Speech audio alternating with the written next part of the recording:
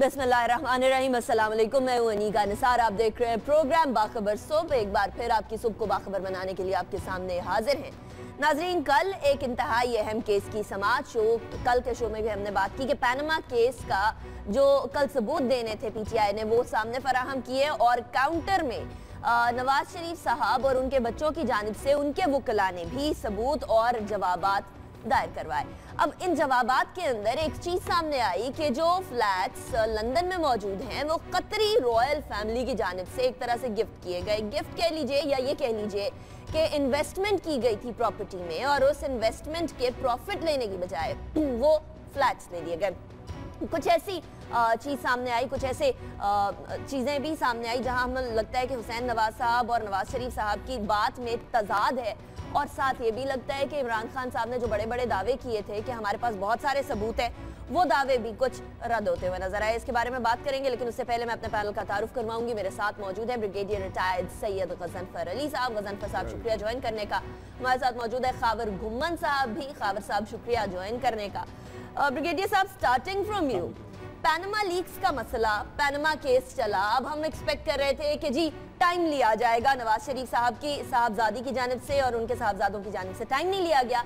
जवाब दिया गया, खत दिया गया कतर के प्रिंस के हवाले से कि जी रॉयल फैमिली में और नवाज़ शरीफ साहब के साहबजादे में एक ऐसा एक अग्रीमेंट तय पाया जिसकी बिना पर फ्लैट्स दिए गए। अब ये चीज़ तो सामने आ गई पीटीआई कैसे रद्द करेगी? वो जो दावे थे कि हमारे पास बहुत सारे सबूत हैं एविडेंसेस हैं, वो पूरे नहीं हो पाए पीटीआई की जानब से। बिस्मिल्लाह आपने ठीक कहा। जो कुछ उन्होंने दिया है जहाँ तक वो अभी भी कह रहे हैं कि अदर देन दी अखबार के तराशे या बाकी चीज़ों के उसके अंदर कुछ ऐसी चीज़ें मौजूद हैं कुछ ऐसा इंक्रिमिनेटिंग एविडेंस है जिसको कोर्ट ने एक्सेप्ट किया। हम्म। अब उसकी डिटेल्स तो सारी नहीं पता बिकॉज़ सारा तो अखबार के तराशे हो नहीं सकते ना सारे किताबों के एक्सपर्ट्स होते।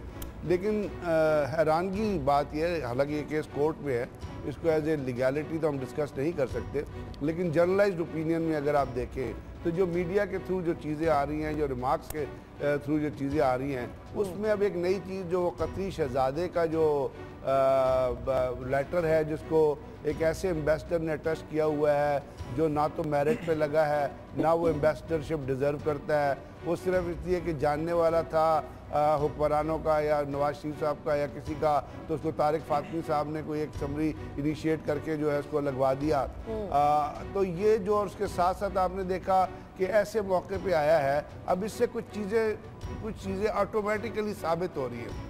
और उसकी पहली चीज़ जो साबित हो रही है वो ये है कि जब एलएनजी का कॉन्ट्रैक्ट हुआ था हम्म। तो पूरी दुनिया में शो पर यहाँ पे कहा गया था और अगर आप उस टाइम पे एलएनजी के रेट्स निकाल के कंपेयर करें कंपैरिजन करें जिस तरह एलएनजी मार्केट में अवेलेबल थी 11 ममालिक हैं जो है वो एक्सपोर्ट करते हैं उनके पास एनर्जी एनर्जी की बड़ी कैपेसिटी मौजूद है। हम्म। लेकिन उन सबको छोड़ के जो कतर के साथ किया गया तो वहाँ पे एक शख्स मौजूद है जिसका नाम सैफुर रहमान है। अब वो भी करेक्टर खुल के सामने आ गया। सैफुर रहमान की क्या एफिलिएशन है नवाज़ शरीफ साहब से और फैमिली से ये भी आपको पता है। आपको पता है यहाँ पे एक जी हाँ तो ये तमाम जो चीज़ें जो वो पनामा लीग से रिलेटेड है ना जो उनकी एप्लीकेशन है। वो पनामा लीग से अब रिलेट हो गई है। और वो पनामा लीग से किस तरह रिलेट हो गई है? क्योंकि इससे पहले जब अकाउंट्स फॉरेन अकाउंट्स सीज हुए थे नवाज़ शरीफ के पहले टेन्योर में जब भी ये साहब बड़े इंस्ट्रूमेंटल थे अब वो पनाम उन्होंने वो जो और आपको पता है कि जो पुराने उनके जो वकील थे नवाज़ शरीफ साहब के वो बड़े हरिडली कतर गए वहाँ से डॉक्यूमेंट लेके आए हम्म। उस डॉक्यूमेंट क्या कहता है वो डॉक्यूमेंट कहता है कि जी मैंने सुना या मैं रिकलेक्ट करता हूँ कि ये काम हुआ था हम्म। दूसरी बात यह कि वो जो शख्स ने ये डॉक्यूमेंट दिया है जो शहजादा है वो खुद पनामा लीक में उसका नाम है वो टॉप बारह जो है उसके अंदर उसका नाम आता है हम्म। तो ये तमाम एविडेंस जो है ये जिस तरह उन्होंने रिमार्क दिया कोर्ट ने कल कि जी ये तो अखबार जो है इसके ऊपर पकौड़े बिकते हैं। तो इस तरह का लेटर जो होता है इसमें तो पकौड़े भी नहीं बिकते। क्योंकि जब आप एक लेटर को एक शहजादे के लेटर को एम्बेसडर सर्टिफाई कर रहा है without seeing an original without meeting him without तो ये तो आम आदमी को कोर्ट तो खैर इसको एग्जामिन करेगी अपनी टेक्निकल पॉइंट ऑफ़ व्यू से लेकिन मेरी वेरी एवरेज अकल को यह एक आम आदमी को ये चीज़ अपील नहीं कर सकती कि ऐसा एविडेंस ये प्रूव कर सकता है कि जी आपको लोन दिया गया था या कोई ऐसी तो ये जो चीज़ें खुद वो हो रही हैं ये वो तमाम और दूसरी एक और बात बड़ी इंपॉर्टेंट बात है कि उनके साहबजादे का इंटरव्यू ऑन रिकॉर्ड है। जिसमें उससे एक क्वेश्चन पर्टिकुलरली पूछा गया था एंकर ने कि जी आपने कभी किसी से कर्जा लिया? उन्होंने कहा जी हमारे दोस्तों ने कर्जा दिया था हमने वापस कर दिया हमने किसी हुकूमत से और उस पर नाम दिया गया इस मुल्क को। किसी से कोई तो कौन सी चीज़ सही है? ये सही है इंटरव्यू की बात उन्होंने कहा था किसी से मदद तो नहीं ली और कतर की हेल्प की बात की थी लेकिन यहाँ तो वो कह रहे हैं हमने हेल्प नहीं ली। हम लोगों ने वो इन्वेस्टमेंट तो ये तो एडमिसिबल है ना फिर वो इन्वेस्टमेंट लेने की बजाय हम लोगों ने फ्लैट ले लिया लेकिन खाबर साहब कमिंग टू यू यहाँ एविडेंस जो पीटीआई की जानब से भी दिए गए थे, इमरान खान साहब ने बड़े बड़े दावे किए थे स्पेशली ये कहा था कि हमारे पास ऐसा एविडेंस है जो कि क्लीन बोल्ड कर देगा। ये भी कहा था कि असद खरल साहब जो सहाफ़ी हैं, उनकी किताब के बारे में पूछा गया कि आपने एविडेंस का हिस्सा बना दिया तो उन्होंने कहा था, नहीं, वो एक एक्सचे के तौर पर या एक ऐसे साथ दी गई होगी। लेकिन मेरा नहीं ख्याल कि उसको एविडेंस का हिस्सा बनाया गया होगा। लेकिन जब आपको छह सौ छियासी सफ़ों का एविडेंस सामने आता है तो उसके अंदर ऐसे ऐसे सफात भी हैं जहाँ सिर्फ़ और सिर्फ़ तस्वीरें बनी हुई हैं। ये एविडेंस तो ना हुआ, जो मीडिया पर आ रहा है वो सबके सामने है। ठोस एविडेंस की ज़रूरत थी, तीन वॉल्यूम्स है। उसके अंदर से एक वॉल्यूम के बारे में सुप्रीम कोर्ट ने कहा था, लेकिन उसके अलावा मियाँ नवाज़ शरीफ साहब जो हैं, उस, उनकी जानब से, उनको तो लगता है जैसे एक तरह से क्लीन चिट मिलती हुई नज़र आ रही है। बच्चों की वर्सेस पीटीआई की बात हो रही है। अनिका इस एविडेंस की सेहत के बारे में जो अब फैसला करना है वो सुप्रीम कोर्ट ने करना है वो तो सर्टनली मैं और आप फैसला नहीं कर सकते वो जो एविडेंस जमा हुआ है पीटीआई ने जमा करवाया या गवर्नमेंट ने जमा करवाया वो उस वो कितना इस काबल है कि उस उसकी बेस पे कोई डिसीज़न किया जा सके सर्टनली दोनों साइडें दावे कर रही हैं कि हमारे पास इस लेवल का एविडेंस है गवर्नमेंट वाली साइड ये कर रहे हैं कि हम साबित कर देंगे ये बिल्कुल जायज़ हलाल कमाई से प्राइम मिनिस्टर साहब ने या उनके बच्चों हम्म। ने बाहर कारोबार बनाए और उनकी जायदादें बनी और जो पीटीआई कह रही है वो कह रही है कि जी हाँ हम ये साबित कर देंगे जी ये जो पैसा है इसका मनी ट्रेल नहीं है पहले दिन से मेरा इस पर सिंपल सा आर्गूमेंट है जो सुप्रीम कोर्ट ने पहले दिन एक सवाल पूछा था। आप छोड़े इस चीज़ को जी क्या एविडेंस है उसमें किताबें जमा हुई हैं तस्वीरें जमा हुई हैं या गवर्नमेंट क्या क्लेम कर रही है। वो ये है आपने सिंपल ये बताना है कि हमारे पास ये पैसे हैं ठीक इतने पैसे थे इतने वहाँ से हमने जनरेट किए इस बिज़नेस से इस बैंक हम्म। से हमने ट्रांसफ़र और वहाँ जाके हमने इस ये प्रॉपर्टी में इन्वेस्ट किए ये हमने वहाँ पे कंपनीज़ खरीदी। सिंपल सा आर्गूमेंट है ये आपने साबित करना है वो अभी तक इस तरह का एविडेंस नहीं आ रहा। कल जो अकरम शेख साहब आपने कहा कि टाइम नहीं टाइम नहीं गेन किया अकरम शेख बहुत मज़े हुए लॉयर हैं और वो आप जेन में रखिएगा कि कल उन्होंने ये जो नया ये पांतरा ये बदला है ना कि आपने एक एविडेंस एक लेटर फेंक दिया है। अब लेटर के अंदर वो एक, अहमद बिन जासिम साहब हैं ये 78 की इनकी पैदाइश है। अब उस टाइम तो मेरे ख्याल में बहुत इन्फेंट होंगे जब ये बिज़नेस ट्रांजेक्शन हुई थी बिटवीन ये जो पेन साइन के इनके फादर और बड़े मियाँ साहब के दरमियान। तो क्या उसमें क्या उनकी इन्वॉल्वमेंट थी उस ज़माने में? क्या वो एक्टिवली इन्वॉल्व थे या नहीं थे? ये बहुत सारे इश्यूज़ हैं। एक हम्म। चीज़ जेन में रखिएगा कि जब इस तरह का जो एविडेंस पेश होता है ना तो ये मोहतरम प्रिंस साहब को आके कोर्ट के सामने अपने आप को सरेंडर करना पड़ेगा। और जब आप सरेंडर करते हैं तो ये भी आप कोर्ट को इजाज़त देते हैं कि अगर फैसला में अगर ये साबित हो गया कि मैंने झूठ बोला है तो ये अदालत मुझे जेल में डाल सकती है। तो ब्रिगेडियर साहब का बिल्कुल बात ठीक है वो पकौड़े उस उस उस खत के अंदर पकौड़े भी बेचे जा सकते हैं उसकी कोई एविडेंस नहीं है। अनटिल वो प्रिंस साहब खुद आए कोर्ट के सामने अपने आप को सबमिट करें और कोर्ट के फैसले का वो नहीं तो अगर दोनों तरफ़ से पकौड़े बेचने हैं तो फिर एविडेंस कहाँ का आ रहा? ना उस तरफ़ से ना उस तरफ़ से एक तरफ़ हैं दूसरी तरफ़ लेटर में पकौड़े तो कहाँ रह गई सारी बात? अनिका अनिका मैं शुरू में जो मैंने कहा ना कि ये जो एविडेंस की सेहत का अंदाज़ा है उस पर रूलिंग अब कोर्ट ने करनी है। पाँच मोहतरम जजेस हैं पाकिस्तान के कि आधा आला अदलिया के सबसे सीनियर जो जजेस हैं वो वो इस केस को सुन रहे हैं। तो उस पर मेरे ख्याल में मुझे और आपको कोई कोई राय देने की ज़रूरत नहीं है कि वो वो उसका वो अंदाज़ा गलत लगाएँगे या सही लगाएँगे वो बैठे हैं उसका फैसला करेंगे। आप जो आर्गूमेंट आ रहा है ना कि जी क्या साबित क्या होना है? साबित अनिका ये है कि ऑन ग्राउंड जो है एक इमारत खड़ी है उस इमारत की एज ऑफ़ टुडे आज जो मार्केट वैल्यू है यूके के अंदर आप किसी बंदे से किसी एक कंपनी को फ़ोन कर लें किसी रियल स्टेट एजेंट को फ़ोन कर लें यूके के अंदर उनसे पूछ लें कि जो पार्क लेन पे ये जो फ्लैट्स हैं उनकी कीमत क्या है? वो आपको बता देंगे कि उनकी कीमत क्या है। वो पाकिस्तानी रुपीस बिलियंस में है। इसमें कोई मुबालगा रही नहीं है। कोई एग्जेजरेशन नहीं है। ठीक है। तो वो जो बिलियंस की प्रॉपर्टीज़ हैं और जो बिलियंस की कंपनीज़ हैं तो उसके लिए हवा में तो नहीं कायम हुई ना? उन उनको कायम करने के लिए कोई बिज़नेस ट्रांजेक्शन हुई होंगी कोई बैंकिंग ट्रांजेक्शन हुई होंगी। जब। आपने इतनी बड़ी मिकदार में पैसा एक जगह से दूसरी जगह लेके गए हैं तो उस पर कहीं ना आपने टैक्स दिया होगा। कहीं ना कहीं आपके पास कुछ रसीट्स होंगे किसी बैंक की बैंक अकाउंट्स की डिटेल होगी। तो वो अभी तक ना वो बैंक अकाउंट अकाउंट्स की डिटेल सामने आई है ना वो और दूसरी बात जेन में रखिएगा जब किसी पे इल्ज़ाम लग जाता है ना अब मेरे पे या किसी ब्रिगेडियर साहब पे या आप पे कोई इल्ज़ाम लग जाता है कि आप एक तो सडन जो जो इल्ज़ाम लगाता है उसने भी वहाँ पे पेश करना होता है जो जिस पे इल्ज़ाम लगता है अब ये. एक इल्ज़ाम जो लोग मान रहे हैं। वो मान रहे हैं कि हमारी प्रॉपर्टीज़ हैं हमारा हम हम इनके बेने, जो बेनिफिशियल ओनर हैं बात खत्म होगी। अब साबित उन्होंने करना है कि ये हमने जो इस ये जो कंपनीज़ हैं ये प्रॉपर्टीज़ हैं हमारी जायज़ की कमाई से हैं और हमने है। लीगल बिज़नेस ट्रांजेक्शन इंतहाई अहम मोड़ पर ये ये केस आ चुका है और इस केस का इंतहाई अहम मोड़ ये है कि एक तरफ़ से जो एविडेंसेस की बात पीटीआई ने कही थी कि पीटीआई के पास बड़े एविडेंसेस है वो उतने स्ट्रॉन्ग साबित ना हो सके, दूसरी तरफ़ से नवाज़ शरीफ साहब की जानिब से या उनके बच्चों की जानिब से जो उनके वकील ने लेटर दिया है, उस लेटर के ऊपर भी बड़े सवालिया निशान खड़े होने लगे इंतहाई अहम मोड़, इंतहाई दिलचस्प मोड़, आगे क्या होगा ये भी पता चलता रहेगा, लेकिन आगे क्या होने वाला है पार्लियामेंट में, उस बारे में भी तैयब अर्दुगान साहब आ रहे हैं। तैयब अर्दुगान सदर तुर्की के और इंतहाई अहम दौरे पर, जिस दौरे के बारे में पीटीआई ने बॉयकॉट की भी बात की, लेकिन उससे पहले इंतहाई अहम फैसले भी सामने आए। हुकूमत ने तकरीबन अ, 400 के करीब टर्किश लोगों को डिपोर्ट करने की बात की तीन दिन दिए और ये कहा कि वीज़ा इनका एक्सटेंड नहीं होगा। गजनफर साहब एक ऐसे सदर आ रहे हैं तैयब अर्दुगान साहब जो कि हमारे दोस्त मुल्क के हैं। वहाँ फतेहुल्लाह गोलन की बात की जाती है कि जी पाक तुर्क जो सिस्टम है वो उनसे रिलेटेड है। दूसरी जाने वहाँ से तरदीद आती है कि हमारी ऐसी कोई रिलेशन नहीं है। ऐसे में 400 लोगों का वीज़ा एक्सटेंड ना करना। आपको लगता है ये तैयब अर्दुगान साहब को खुश करने के लिए सिर्फ़?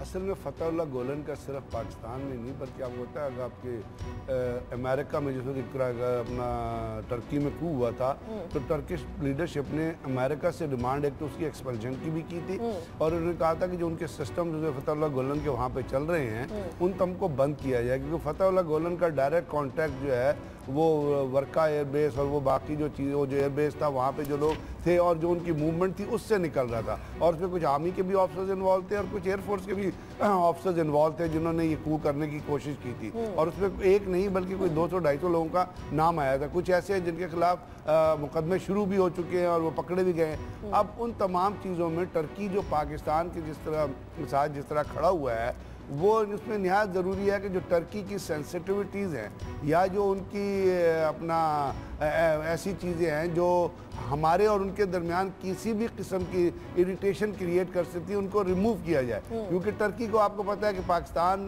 को इस वक्त जिस अलायंस में जाने की ज़रूरत है या जो चीज़ें आपने कर रही है उसमें ट्रस्ट बिल्डअप जो है वो बहुत बड़ा ज़रूर वो बहुत ज़रूरी है। तो अगर यहाँ पे इस किस्म का और मुझे ये पता है कि टर्किश ने ये डिमांड भी की थी कि इन स्कूलों की चेन के ऊपर या तो इनको कर्टेल किया जाए इनको जो है अंडर मतलब वॉच अंडर रखा जाए या इनको बंद किया जाए। उस वक्त गवर्नमेंट ने इसको इसका स्टेप नहीं लिया क्योंकि साफ़ ज़ाहिर है एजुकेशनल इंस्टीट्यूशन हैं वहाँ पे लोग पढ़ रहे हैं और ये पाक टर्क फाउंडेशन उसके तहत जो लोग स्कूल जो स्कूल काम कर रहे हैं वो बड़े अरसे से काम कर। रहे हैं अब चूँकि टर्किश प्रेसिडेंट यहाँ आ रहे हैं तो मेरा ख्याल डिप्लोमेटिक लेवल पे कुछ ना कुछ तबादला ख्याल ज़रूर हुआ होगा या कोई डिमांड जिसके कोई जो इम्पेरेटिव हैं वो सामने तो नहीं आ रहे। लेकिन चूँकि ये फैसला एकदम किया गया है और इसको within three days wrap up करने का कहा गया है वो रैप अप करना तीन दिन भी बहुत एक मैं कहूँगा कि अहमकाना चीज़ है। इसलिए कि न सिर्फ़ उससे लोगों का मुस्तबिल वाबस्ता है बच्चों का मुस्तकबिल वाबस्ता है बल्कि उनकी अपनी फंक्शनिंग भी वाबस्ता। अब वो तीन दिन में किस तरह सारी चीज़ रैप अप होगी आप उस उसका स्कूल का क्योंकि मुझे पता है कि उन स्कूलों में बहुत सारे बच्चे पढ़ रहे हैं और वो बड़ी क्वालिटी एजुकेशन ले रहे हैं। नहीं तो लेकिन उसका उसका जो तमाम चार्ज है वो एक और फाउंडेशन को दे रहे हैं ना? यानी मैं schools ये को अर्ज़ तो कर रहा हूँ देखिए ना जब आप एक चली चली फाउंडेशन को खत्म करते हैं तो उसके अंदर गैप तो आता है ना। लेकिन जहाँ तक मैं ये कहूँगा कि अगर टर्की की कोई रिक्वायरमेंट्स हैं उनकी कोई डिमांड्स हैं या वो ये चाहते हैं कि ये हो तो हमारे हमारे जो ताल्लुकात हैं वो इंडिविजुअल्स से नहीं होते कभी भी बल्कि हकूमतों से होते है। हैं। आप एक्सचेंज भी हकूमतों से करते हैं इंडिविजुअल सिर्फ़ इंस्ट्रूमेंटल होते हैं या उन ताल्लुकात को बनाने में या उन ताल्लुकात को ख़राब करने में। तो हमारा जो गवर्नमेंट ऑफ़ तुर्की से जो जिस तरह चीज़ें चल रही हैं हालाँकि उसके अंदर अंदर बड़ा सारा प्राइवेट बिज़नेस भी है जो मतलब है बैकग्राउंड में रख के आ, किया जा रहा है और वो चल रहा है उसके अंदर बहुत सारी चीज़ें चल रही हैं कि नाम टर्की का इस्तेमाल हो रहा है बिज़नेस कोई और कर रहा है या टर्किश कंपनी का नाम इस्तेमाल हो रहा है फ़ायदा कोई और उठा रहा है हम्म। गवर्नमेंट के एक्सपेंस पे वो चीज़ें अपनी जगह लेकिन चूँकि अगर टर्की की डिमांड है और ये किया जा रहा है उसकी एडमिनिस्ट्रेशन को चेंज किया जा रहा है तो मेरा ख्याल ये पाकिस्तान के अगर फ़ायदे में है और इससे पाकिस्तान और टर्की के ताल्लुक बेहतर हो सकते हैं एक नई नहज पे चल सकते हैं तो इसमें कोई हर्ज मुझे हम्म। नहीं अच्छा दूसरी तरफ़ खावर साहब पीटीआई बॉयकॉट करने का फैसला करती है उसके बाद फिर कहती है कि नहीं हम बॉयकॉट नहीं कर रहे उसके बाद फिर ये आता है फैसला जी कि बॉयकॉट बरकरार रहेगा। हमने पहले भी बात की है एक फॉरेन दोस्त मुल्क का जो है सदर आ रहा है और इस सदर की इंतहाई अहमियत specially at this point in time जहाँ पाकिस्तान को ज़रूरत है हर दोस्त की ऐसे में पीटीआई का डिसीज़न सामने आता है। वहाँ हुकूमत उनको खुश करने की कोशिश कर रही है या पीटीआई के इस कदम से कहीं नाराज़ ना हो जाए एम्बेसडर ने भी अ, कोशिश की थी पीटीआई को मनाने की। अनिका ये जो फैसला हुआ है ना पार्क स्कूल को बंद करने का उनके वहाँ पे 108 एम्प्लॉइज़ हैं और उनकी फैमिली सारी मिला के को 400 प्लस लोग हैं जिनको जिनके वीज़े कैंसिल किए गए हैं। मुझे ये फैसला देख के तो मुझे अपने वो कॉलेज के यूनिवर्सिटी के ज़माने का एक लेक्चर याद आ गया। वो सैटेलाइट स्टेट पे उस दिन हमारा लेक्चर था उसमें बताया कि ये क्या कि ये ऐसा मुल्क जो अपने मुआशी अपने सियासी और अपने दिफाई फैसले जो है किसी किसी दूसरे या तीसरे की पावर या मुल्क के कहने पर करता है। दो आप पुरानी बातें छोड़े 2000 से ऑनवर्ड हम क्या देख रहे हैं? 9/11 होता है हमें एक मशहूर ज़माना एक टेलीफोन कॉल आती है आपको याद होता। पहले हम क्या हमें कहा जाता है कि आप तालिबान के साथ रहें उसके बाद कहा जाता है कि आपने आज के बाद आपने तालिबान के साथ लड़ाई करनी है। ठीक है माई बाप हमने लड़ना शुरू कर दिया और पिछले 15-16 साल 50-60 हज़ार लोग हमारे सिक्योरिटी एजेंसीज के हमारे नौजवान ऑफिसर सारे शहीद हो गए। वो एक फ़ैसला हुआ। अब उसके उसके बाद जो अब अब ये जो फैसला हुआ है कि ये अब देखने की बात ये है कि आप आप ये करने क्या जा रहे हैं? एक एक एक फाउंडेशन है वहाँ पे हज़ारों की तादाद में स्टूडेंट्स हैं। कुछ तरीका कार होता है कुछ काम करने की क- क- कोई अवामिल होते हैं जिनको आप साथ लेके चलते हैं। आप आप कह रहे हैं कि तीन दिन के अंदर आप बंद कर दें। खुदा का खौफ करें कि अगर ये प्रोसेस करना भी था तो उसको एक एक एक उसको एक थ्रू सर्टन प्रोसीजर उसको फॉलो करते हैं। अभी मैंने तो पहले दिन से जो मैंने याद होगा मैंने प्रोग्राम ये कहा था कि ये पीटीआई का राइट डिसीज़न है कि वो ये बाइकआउट करने जा रहे हैं और जो आपने कहा कि उन्होंने कहा कि हम बाइकआउट नहीं करेंगे उन्होंने ये ज़रूर कहा कि जी चूँकि टर्किश एम्बेसडर उनसे मिलने गए थे उनसे उन्होंने रिक्वेस्ट की थी अखबार के मुताबिक रिपोर्टर रिपोर्टरली और ये उन्होंने भी कहा पीटीआई के लीडर्स ने कि आप ये रिव्यू करें डिसीज़न क्योंकि प्रेसिडेंट आ रहे हैं अच्छा मैसेज नहीं जाएगा। तो कल दोबारा उनकी पीटीआई की मीटिंग हुई उसमें अगेन अगेन जो मेरी इतला के मुताबिक मेरी पीटीआई के लीडर से भी बात हुई है ये जो विज़िट प्लान हुआ है ये को बहुत पहले प्लान नहीं हुआ था। पीटीआई के अंदर ये सीरियस किस्म का ये ये, ये उनको ये यकीन इस पर रखते हैं कि ये ये जो प्रेसिडेंट साहब को बुलाया जा रहा है ये प्राइम मिनिस्टर चूँकि उनके खिलाफ अब अदालत के अंदर केस है तो उनको रेस्क्यू करने के लिए बुलाया जा रहा है। एक ये इंप्रेशन देने की कोशिश की जा रही है कि मुल्क के अंदर अब सारे उनकी इमामत के अंदर पीछे खड़े हुए हैं। एक मैं चीज़ और साथ में आपको ये बता दूँ कि ये जो मीटिंग ये जो मीटिंग भी हुई थी ना उसके एम्बेसडर के साथ पीटीआई के लीडर्स की वो कोई मीटिंग अच्छी नहीं गई नहीं गई थी। ठीक है? और इसके साथ साथ दूसरा एक चीज़ और चीज़ है 2014 के अंदर जब धरना हुआ था याद होगा पीटीआई और पैट का तब जो चाइनीज़ प्रेसिडेंट ने अपना विज़िट डेफर कर दिया था। नोइंग द फैक्ट कि मुल्क के अंदर इस टाइम सियासी जो है वो आपस में कशीदगी पाई जा रही है। दो मुल्क की बड़ी पार्टीज़ आपस में लड़ रही हैं लिहाजा उस टाइम अगर वो चाइनीज़ प्रेसिडेंट आते तो वो कंट्रोवर्शियल हो, जा, हो जाता विज़िट तो उनकी यहाँ पे जो अम्बेसी ने अम्बेसी ने वापस मैसेज किया है कि इस टाइम आने की ज़रूरत नहीं है और वहाँ पे एक डिसीज़न हुआ कि आप इस टाइम नहीं आए। ठीक है। अब इस हालात में जब जब टर्किश प्रेसिडेंट पाकिस्तान आएँगे आपके मुल्क के अंदर दो बड़ी पॉलिटिकल पार्टीज़ लड़ रही हैं। आपके prime minister sitting prime minister के ऊपर चार्जेस लगे हुए हैं मनी लॉन्ड्रिंग और टैक्स एवेजन के। और एक पिटीशन को आपकी आला अदलिया ने एक्सेप्ट किया हुआ है। धरना हो रहा था साहब उस टाइम इस्लामाबाद बंद था अब इस्लामाबाद बंद नहीं, है कानूनी चारों तो चलती रहेगी नहीं नहीं दो साल चलती रही तो दो साल कोई मैं ये ये ये आपको बता रहा हूँ। नहीं देखिए देखिएगा कि आपका जो प्राइम मिनिस्टर है जो हेड ऑफ़ द स्टेट है जो चीफ एग्जीक्यूटिव है उसके ऊपर सीरियस किस्म के एलिगेशन लगे हुए हैं। तो उस दौरान अगर आप ऐसे मुल्क के अंदर विज़िट जो भी आएगा एक प्रेसिडेंट साहब आएँगे टर्की प्रेसिडेंट वैसे तो पीटीआई ने कहा कि हम वेलकम करते हैं। लेकिन वो कह रहे हैं कि हमारे हदशात हैं हमारे कंसर्न्स हैं हम इसको हम इस पे इस सेशन में नहीं जाएँगे। तो हमारे उनका एक राइट हैं, और मेरे नज़दीक ये उनका उनका ठीक स्टैंड है। जी। ठीक है हमारे भी खदशात है और वो खदशात किस हवाले से हैं वो है कश्मीर के हवाले से। और कश्मीर के हवाले से एक उड़ी अटैक हुआ था उसके पाकिस्तान पे नाम दाग दिया गया था। सीधा सीधा पाकिस्तान को भारत की जानिब से ब्लेम कर दिया गया था। और अब यूनाइटेड नेशंस ने ये बात कही कि उड़ी अटैक में पाकिस्तान की कोई इन्वॉल्वमेंट नहीं और पाकिस्तान को और भारत को मिल बैठकर इस मसले को हल करने की ज़रूरत है। गजनफर साहब, हर बार जो भी हमला होता है, पाकिस्तान पे नाम दाग दिया जाता है। पाकिस्तान को बोल दिया जाता है मोरद इल्ज़ाम ठहरा दिया जाता है। ये कहा जाता है, जी पाकिस्तान की सरहद पार से कोई आए थे या सरहद पार से कंट्रोल हो रहा था अकवाम मुतहदा कह रही है हमारे यहाँ अकवाम मुतहदा के मुबसरीन है इंडिया अपनी कश्मीर की साइड पे जाने नहीं देता।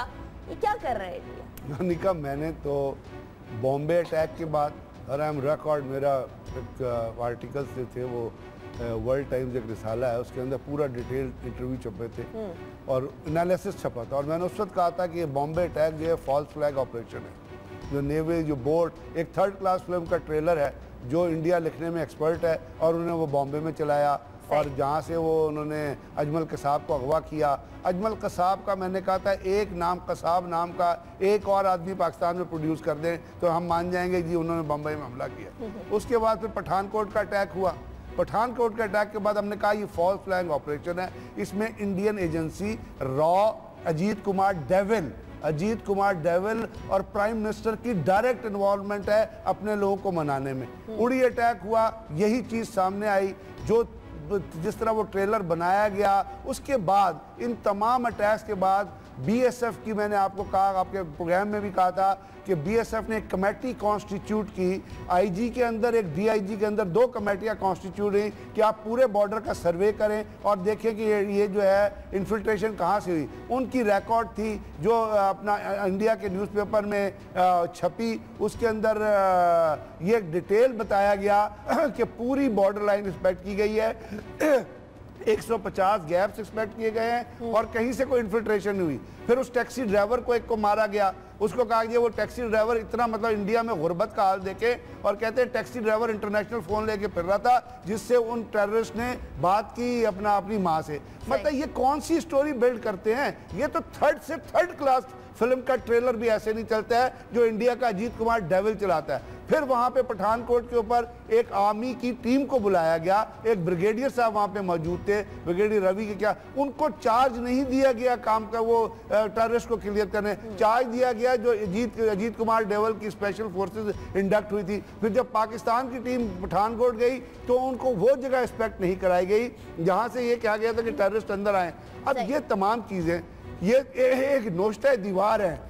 ये लोग पढ़ते हैं इतने बेवकूफ़ लोग नहीं हैं कि वो इन चीज़ों को ना समझें। लेकिन दुख की बात यह है यूएनओ ने तो अब कहा है हमारी हुकूमत ने तो यहाँ एफआईआर रजिस्टर कर ली थी। गुजरावाला में एफआईआर रजिस्टर हुई थी। आपके बहुत सारे यहाँ पे इंटेलेक्चुअल्स बैठे हुए हैं जो बैठ के रोज़ाना एनालिसिस कर रहे होते हैं पलते हैं उनके टुकड़ों पे जो लोग बाहर रह रहे हैं खैरात उनसे लेते हैं यहाँ के कहते हैं कि जी पठानकोट में पाकिस्तान इन्वॉल्व है और पाकिस्तान को अपना घर इन ऑर्डर करना चाहिए। तो जब हमारे यहाँ ही इतने किस्म के मतलब एंटी स्टेट लोग मौजूद हैं जो जाके क्लेम करते हैं तो आप क्यों ये कह सकती हैं कि पाकिस्तान का स्टांस जो आगे पेश होगा? अब आज की तारीख में जिस वक्त एक न्यूज़ स्टोरी लीक हो चुकी है ये आ चुका है कि जी जो नाम आर्मी का आ चुका है अमेरिका में चेंजेस हो रही हैं यूरोप में चेंजेस हो रही हैं इंडिया में जो कुछ कर रहे हैं जो आपके ऊपर टेररिस्ट अटैक हो रहे हैं जिस तरह एक पाकिस्तान के खिलाफ इंटरनेशनली बड़े अरसे से एक नैरेटिव एक कॉन्सेप्ट बिल्ड किया जा रहा है। उस कॉन्सेप्ट को अब बजाय इसके उस concept को हम काउंटर करें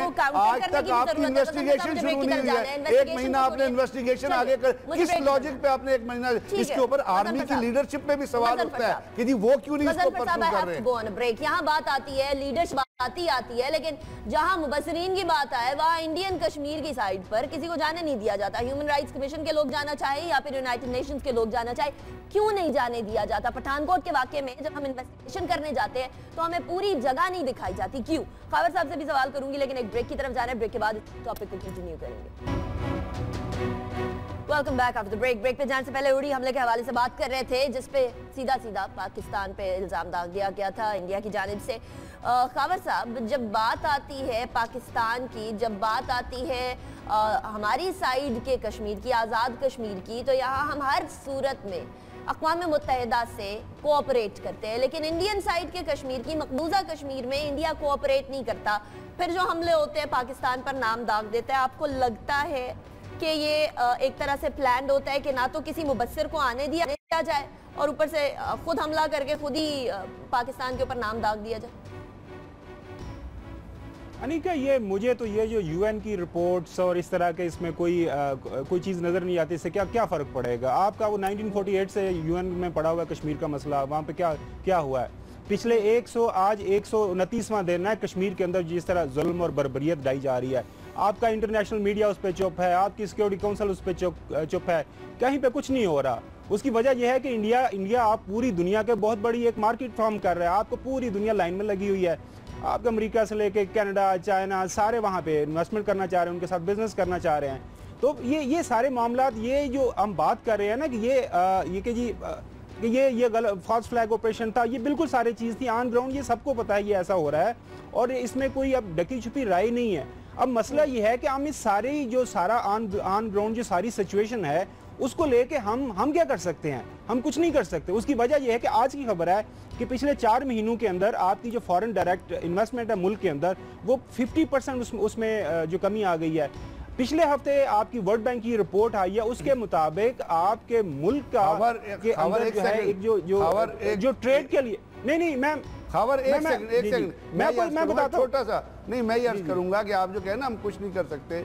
हम कम से कम ये तो कर सकते हैं कि जो हमारे ऊपर इल्ज़ाम लगा रहा है उनको सबूतों के साथ काउंटर करें और एफ़ आई आर रजिस्टर ना करें पाकिस्तान में। ये एक्सेप्ट कर लें आप शुरू से ही तो फिर वाकई साफ़ आप ज़ाहिर है कि हम क्या कर सकते हैं। ब्रिगेड साहब वो जो मैंने इससे इससे पहले सेगमेंट में बात किया था ना कि we we are a satellite state satellite state का मतलब ये है कि हम हमारी अपनी डिसीज़न मेकिंग है ही कोई नहीं है। हम हम सर न्यूक्लियर स्टेट तो है ना। न्यूक्लियर स्टेट के अंदर पिछले एक महीने से नेशनल सिक्योरिटी ब्रीच पे इशू हुआ था। उस पे आपके सिविल के दारे भी चुप करके बैठे हुए हैं। आप आ, आपके मिलिट्री के दारे भी चुप करके बैठे हुए हैं। या तो या तो आप पहले या तो आप ये या तो आप दिन पहले दिन ये कह देते कि जी ये एक सिंपल सी खबर है, छोटी सी झूठी सी खबर है, मनगढ़ंत खबर है, खबर का मसला है इसको हम सार्ट आउट कर लेंगे।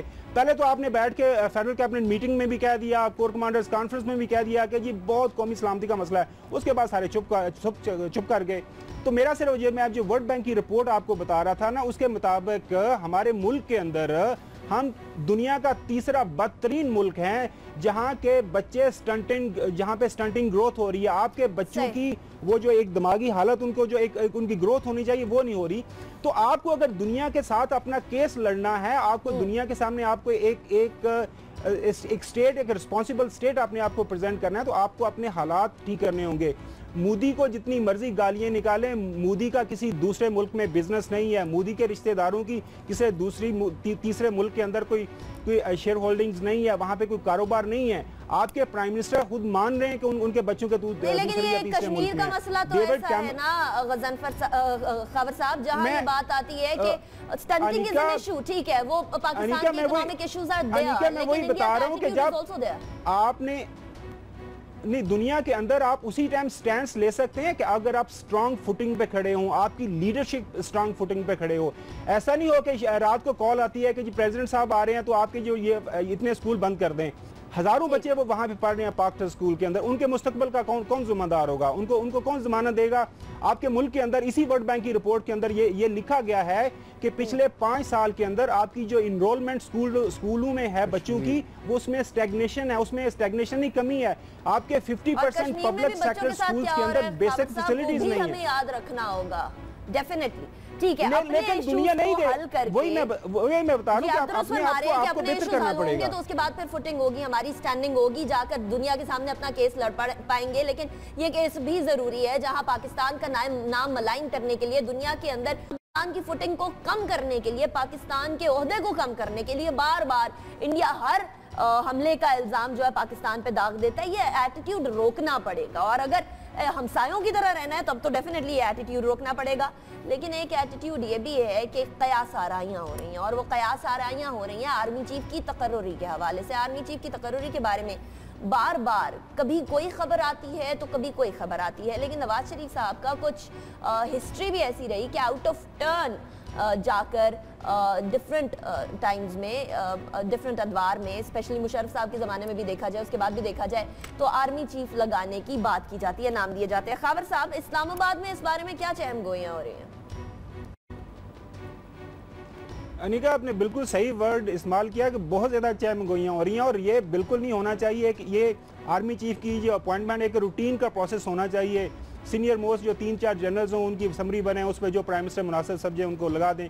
लेकिन जो ट्रैक रिकॉर्ड है हमारे मोहतरम प्राइम मिनिस्टर नवाज़ शरीफ साहब का वो वो नाइन्टी अर्ली नाइन्टीज़ में भी आपने देखा होगा लड़ाई झगड़े हुए एक चीफ एक आर्मी चीफ के साथ फिर दूसरे के साथ फिर तीसरे के साथ फिर 99 के अंदर भी आपको वो एक हिस्ट्री का हिस्सा है कि किस तरह एक, एक आर्मी चीफ लगाया गया उसके बाद जो सारे मामला थे वो भी आपके सामने हैं।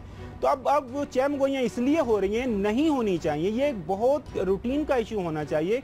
लेकिन बहुत बदकिस्मती है हमारे इस मुल्क के साथ कि, हम हम एक हिस्ट्री कैरी कर रहे हैं। उसमें जो prime minister of the day हैं वो उस हिस्ट्री का एक डायरेक्ट उसका हिस्सा रहे हैं।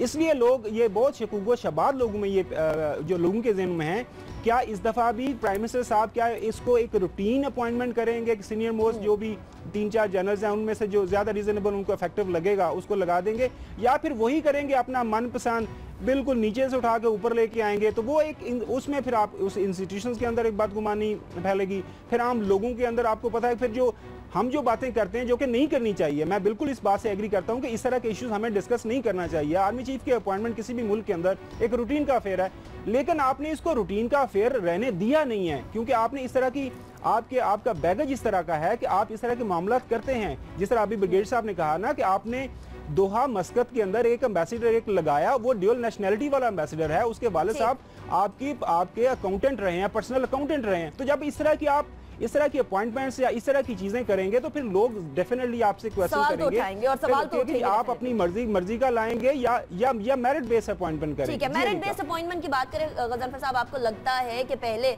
मेरिट बेस अपॉइंटमेंट्स होती रही? जो आउट ऑफ़ टर्न की बात है चाहे वो सिविल ब्यूरोक्रेसी में हो यहाँ या फिर आर्मी चीफ की बात हो नवाज़ शरीफ साहब का एक ट्रैक रिकॉर्ड तो रहा है ना? बात यह है कि अगर तो तारीख से सबक सीख सकते हैं जो मुश्किल है वो सीखेंगे। तो उनको ये देखना चाहिए कि जुल्फ़ार अली भुट्टो ने ज़ियाउल हक को गालबा सातवें या आठवें नंबर से उठा के आर्मी चीफ लगाया था। और उसके बाद क्या हुआ उनके साथ? फिर नवाज़ शरीफ साहब ने कोशिश की ज़ियाउद्दीन भट्ट को। मैं एक इंटेलिजेंस सेटअप कमांड कर रहा था जब नवाज़ शरीफ के साहब का इनिशियल इलेक्शन हुआ। हम्म। तो एक शख्स मेरे पास आया जो इन्हीं से बड़ा क्लोजली रिलेटेड था और जिसका इलेक्शन ख़त्म हुआ सैफुररहमान जो है वो कहते थे जी हुकूमत बना रहा है। उस उसने मुझे कहा कि जी नवाज़ शरीफ ने आपका आर्मी चीफ चेंज करना है और जयाउद्दीन भट्ट को आर्मी चीफ लगाना है। हालाँकि जयाउद्दीन भट्ट जो है सीनियॉरिटी में बड़े नीचे थे। फिर आपने देखा वो चीज़ इम्प्लीमेंट हो गई। तो खावर की बात बिल्कुल ठीक है कि ये और सुप्रीम कोर्ट की ऑब्जर्वेशन भी 100 परसेंट ठीक है। यहाँ मोनोक्रेसी है, यहाँ बादशाह है। लेकिन अगर आप बादशाहों का भी ट्रैक रिकॉर्ड उठा के देखें मुगल बादशाहों का भी ट्रैक रिकॉर्ड उठा दे वो भी कोई मेरिट सामने रखा करते थे। हम्म। क्योंकि उनके जो ऊपर कंपल्शन होती थी नीचे से दरबार में बैठे हुए लोगों की वो बहुत ज़्यादा होती थी। तो अगर जहाँ उन्होंने ऐसा कोई कॉम्प्रोमाइज किया उनकी भी हुकूमतें टूट गई उनकी भी हुकूमतों में खलफशार पैदा हो गए। अब पाकिस्तान में एक अजीब किस्म की बादशाह है। हम्म। जैसे एक एम्बेसडर का मामला आपने कहा कि ड्यूल नेशनलिटी मैंने आपसे पहले अर्ज़ किया लगाया आज उससे कागज़ ले लिया आज उससे सर्टिफाई करवा लिया। तो ये वो ज़ाती मकासद हैं ये वो विजन है और बड़ा फॉल्टेड विजन है बड़ा इरेटिक विजन है जिसके गिर तमाम की तमाम सियासत इनकी घूमती है। अब आर्मी चीफ का मामला पूरी दुनिया में एक बड़ा नॉर्मल रूटीन होता है। It should go as a normal routine और जिस तरह आप कहते हैं ना सुप्रीम कोर्ट में भी एक चीज़ है कि हमने सीनियर मोस्ट को चीफ जस्टिस लगाना है जो बहुत अच्छी बात है जो भी सीनियर मोस्ट है जब वो इस अहदे तक सुप्रीम कोर्ट तक पहुँच गया तो वो बहुत काबिल आदमी है। हम्म। वो बहुत डिलीवरिंग आदमी आदमी है। वो बहुत काबिल इज़्ज़त आदमी है। तो उसको आप लगा तो इसी तरह आर्मी में भी जो आपका मेरिट बनता है जो तीन या चार जो भी लोग होंगे हम्म। हाँ ये बात है वो प्रोगेटिव जो है वो प्राइम मिनिस्टर का है उसको सर्टिफाई करना है प्रेसिडेंट ने समरी आनी है और उसके ऊपर काम होना है। तो अगर ये चीज़ें काबिलियत पे होनी चाहिए और काबिलियत होती है कि मुल्क के लिए क्या बेहतर है आपके इंस्टीट्यूशन के लिए। इसके अंदर कोई ज़ातियात का मसला नहीं है। और याद रखिए इसके अंदर कोई ज़ातियात की सोच आई तो इंस्टीट्यूशन से खिलवाड़ होगा। और आज जब आप ज़रब अज़ब से गुजर रहे हैं और इतने सारे चैलेंजेस आपके ऊपर हैं तो ये पूरी की पूरी पाकिस्तान की जो कौम है जो लोग हैं उनके भी इंटरेस्ट से खेलने के अगर ज़ातियात और ज़ाती मफाद थोड़ा सा ऐड करना चाहूँगा। क्विकली कर दीजिएगा अच्छा अनिका वो ये चार्टर ऑफ़ डेमोक्रेसी जब प्राइम मिनिस्टर नवाज़ शरीफ और former late prime minister Benazir Bhutto ने साइन किया था ना 2006 में लंदन में उसकी एक क्लॉज के मुताबिक ये ये लिखा गया था कि जो आर्मी के अंदर जो आर्मी चीफ की अपॉइंटमेंट हुआ करेगी वो सीनियरिटी बेस पे हुआ करेगी। लेकिन उसके बाद जो हो रहा है वो आपको पता है एक्सटेंशन खाटा वो चार्टर ऑफ़ डेमोक्रेसी ना भी हो ना वो तो पाकिस्तान का है।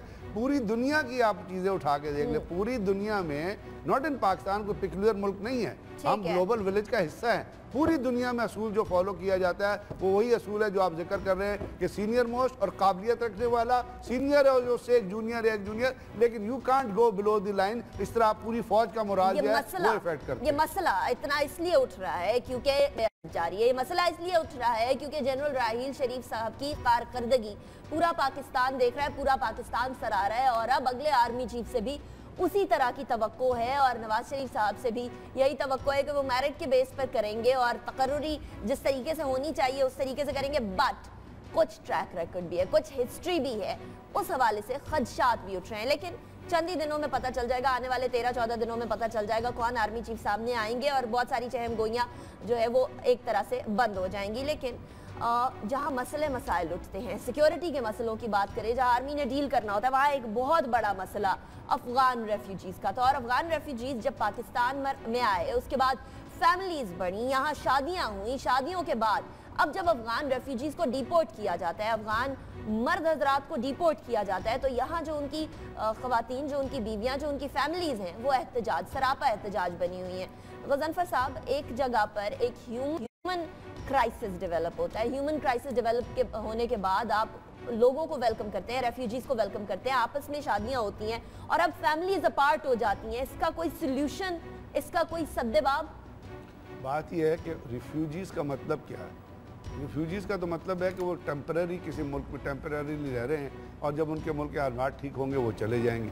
अब पाकिस्तान ने कितना अर्सा इन लोगों को बर्दाश्त किया हम्म। अब आप यहाँ ये देखिए कि जब आपने इनको मतलब बर्दाश्त भी किया। आपके बहुत सारे सोशल फाइबर पे इकोनॉमिक फाइबर पे अब उस डिटेल में जाने का टाइम नहीं है। हम्म। ये इफ़ेक्ट हुए तो उसका रिटर्न अफ़गानिस्तान से क्या आया? वहाँ से तो आपको गालियाँ पड़ती हैं। हम्म। उनकी लीडरशिप की तरफ़ से क्या रिटर्न आया? वहाँ से उनसे गालियाँ पड़ती हैं। अभी भी वो पाकिस्तान को इंडिया के इंडिया को पैम्पर करते हैं। पाकिस्तान को क्यों? अब्दुल्ला अब्दुल्ला की स्टेटमेंट्स आपके सामने नहीं है। अभी अशरफ की वो जो चला गया स्मगलर वो अपना हामिद करजई और उसका उसकी स्टेटमेंट आपके सामने नहीं है। तो क्या लीडरशिप का ये एटीट्यूड है कि पाकिस्तान जो है रिस्पॉन्सिव हो और रेसिप्रोकेटिव हो? हम्म। यहाँ पे वो रिफ्यूजीज थे रह रहे थे। अगर उन्होंने शादियाँ की या कुछ हमारी लोकल औरतों ने शादियाँ की वो उनकी गलतियाँ थी। But they have to go back to their own country because हमारे यहाँ अपने प्रॉब्लम है। हमारी इकोनॉमी का प्रॉब्लम है। हमारी जॉब अभी ट्रंप आके क्या कह रहा है? पहली बात उसने क्या की है? उसने कहा जी मैं जो इलीगल हैं या जो इतने इमिग्रेंट्स उनको मैं निकाल दूँगा। क्यों निकाल दूँगा? कि वो अमेरिका की इकोनॉमी पे बोझ हैं। तो क्या ये अफगान हमारी इकोनॉमी पे बोझ नहीं है? बिज़नेस इन्होंने संभाले हुए हैं। टैक्स ये नहीं पे करते। टैंकर्स ये चलाते हैं। अपना पूरे ट्रेले ये चलाते हैं। कोई रोड टैक्स इन्होंने नहीं पे किया। अब टाइम आ गया है कि वहाँ पे वो क्लेम करते हैं डिज़ाइनर सूट पहन के अब्दुल्ला अब्दुल्ला जैसे लोग कि वो बहुत बड़े चैंपियन है डेमोक्रेसी के हम्म। और बहुत बड़े चैंपियन अफ़गानिस्तान। तो लेना इन लोगों का लोड हम क्यों लोड उठाएँ इन लोगों का? और अगर किसी लोकल ने शादियाँ की हैं वो उनकी गलतियाँ हैं। वहाँ स्कूल हैं वहाँ जाके पढ़ें। एक आपका जो भी प्रोसीजर सेटल होता है और ये याद रखिएगा ये प्रोसीजर पाकिस्तान नहीं सेटल करता। ये प्रोसीजर आपका जो है यूएनएचसीआर के साथ सेटल होता है। और यूएनएचसीआर ने कुछ डेडलाइन और कुछ पैरामीटर रखे हैं। उन्हें कहा ये डिग्निटी से वापस जाएँगे। वहाँ पे अकोमोडेट होंगे ट्रांसपोर्टेशन के पैसे दिए जाएँगे। फोर या टू डॉलर जितने भी पर हेड दिया जाएगा। और वहाँ पे अफ़गानिस्तान की गवर्नमेंट इनको अकोमोडेट करेगी। अब ये पैरामीटर्स हैं इसमें क्या इसको इशू बनाना? हम्म। अगर शादियाँ की है तो गलती उनकी है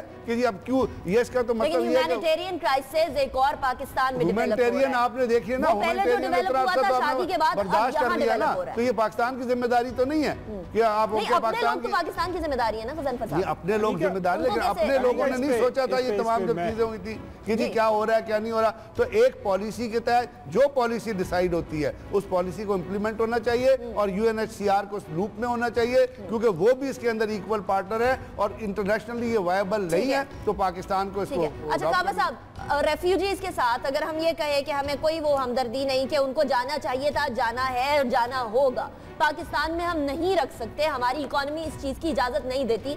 बहुत साल हमने रख लिया लेकिन अब जो पाकिस्तानी फैमिलीज़ उनकी लेफ़्ट बिहाइंड है उनका क्या कीजिए?